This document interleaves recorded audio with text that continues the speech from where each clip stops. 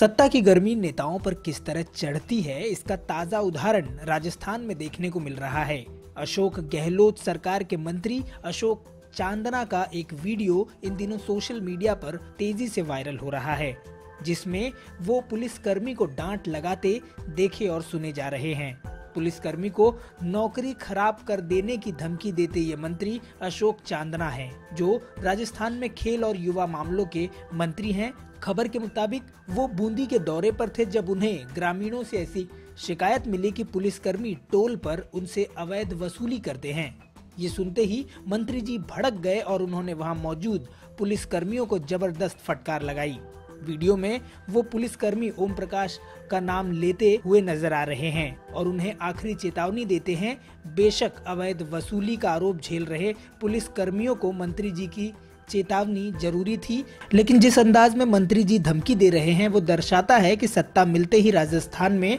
कांग्रेस नेताओं पर सत्ता का नशा तेज़ी से असर कर रहा है। सोशल मीडिया पर खबरों की लगातार अपडेट के लिए आप देखते रहिए हमारे चैनल को और हमें सब्सक्राइब भी। सत्ता की गर्मी नेताओं पर किस तरह चढ़ती है, इसका ताज़ा उदाहरण राजस्थान में देखने को मिल रहा है। अशोक गहलोत सरकार के मंत्री अशोक चांदना का एक वीडियो इन दिनों सोशल मीडिया पर तेज़ी से वायरल हो रहा है जिसमें वो पुलिसकर्मी को डांट लगाते देखे और सुने जा रहे हैं। पुलिसकर्मी को नौकरी खराब कर देने की धमकी देते ये मंत्री अशोक चांदना हैं, जो राजस्थान में खेल और युवा मामलों के मंत्री हैं। खबर के मुताबिक वो बूंदी के दौरे पर थे जब उन्हें ग्रामीणों से ऐसी शिकायत मिली कि पुलिसकर्मी टोल पर उनसे अवैध वसूली करते हैं। ये सुनते ही मंत्री जी भड़क गए और उन्होंने वहाँ मौजूद पुलिस कर्मियों को ज़बरदस्त फटकार लगाई। वीडियो में वो पुलिस कर्मी ओम प्रकाश का नाम लेते हुए नज़र आ रहे हैं और उन्हें आखिरी चेतावनी देते हैं,